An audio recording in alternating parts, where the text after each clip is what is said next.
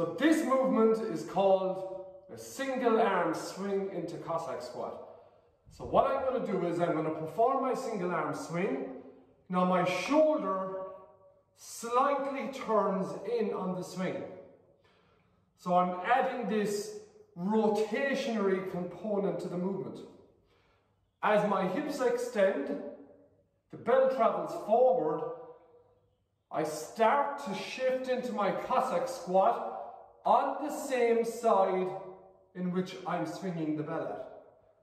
I then hold the kettlebell in a bottoms up position, cradling in my free hand as I perform the Cossack squat.